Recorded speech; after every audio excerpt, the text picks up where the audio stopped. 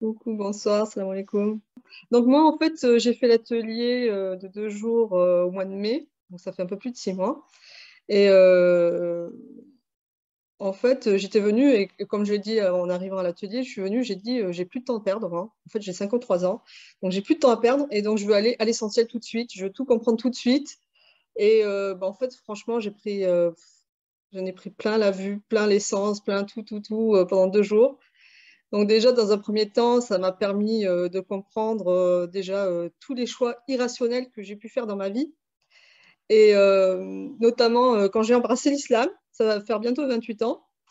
Et ensuite, quand je me suis voilée, et puis bon, ensuite, bon, j'étais un petit peu en sourdine, on va dire. Et c'était depuis trois ans, en fait, que je commençais vraiment à prendre une autre direction dans ma vie. Enfin, je sentais que j'avais besoin de faire autre chose. Donc, j'ai fait plein de, plein de choix irrationnels. Euh, par exemple, j'étais euh, chef d'entreprise, euh, bah, j'ai tout arrêté.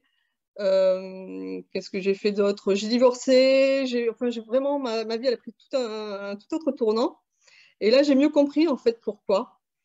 Et j'ai mieux compris parce qu'en fait, bah, moi, donc, moi, ma mission de vie, c'est de créer des canaux de communication pour permettre à tout un chacun de se reconnecter au divin, pour, euh, pour l'épanouissement du plus grand nombre.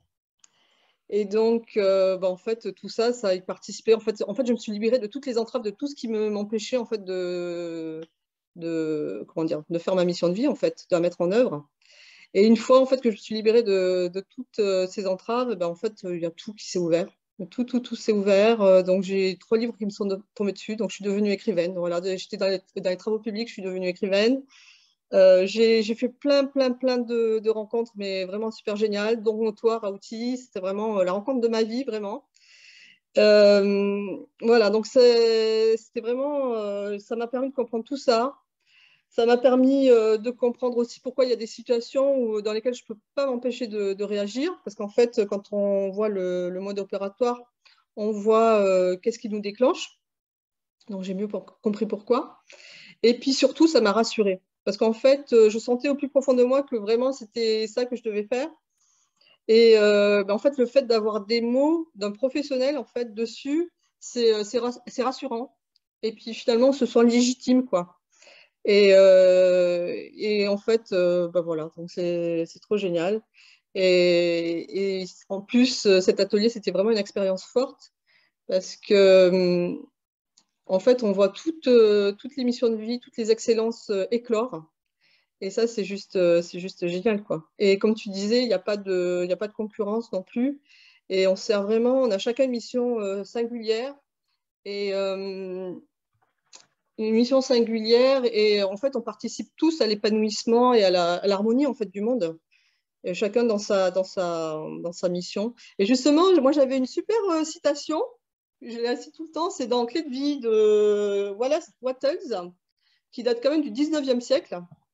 Et il avait sorti un truc, il avait écrit un truc mais vraiment génial, que je voudrais lire parce que vraiment ça résume bien, moi je trouve, euh, cette, euh, cette euh, mission de vie, puis cette, cette harmonie et puis cette non-concurrence, qui dit Donc les hommes et les femmes sont comme un panier de bulbes.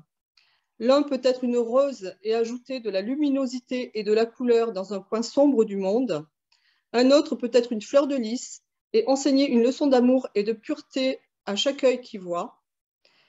L'un peut être une plante grimpante et cacher les contours accidentés de certains rochers sombres. L'un peut être un grand chêne où les oiseaux nichent et chantent au milieu des branches, sous l'ombre duquel les troupeaux se reposent à midi, mais tout le monde sera quelque chose d'utile, quelque chose de rare, quelque chose de parfait. Et ça, je trouve que ça résume vraiment euh, super bien. Voilà. Et je te remercie encore infiniment, Rauti. Franchement, c'était c'est vraiment une expérience trop forte. Et en plus, on fait le lien aussi avec toi, avec euh, le prénom. Et euh, du coup, je me suis réconciliée aussi avec mon prénom, Marie-Odette, parce que pendant longtemps, pendant plus de 20 ans, je voulais qu'on m'appelle Mariam. Et là, ça y est, maintenant c'est parti, on m'appelle Marie-Odette et euh, ça me va très bien. Voilà. Donc merci encore. Bah, un grand merci à toi pour ce témoignage et puis ce partage là de, de, de très très belle citation. ouais, magnifique. Toute chargée de, de sens. Hein. Ouais.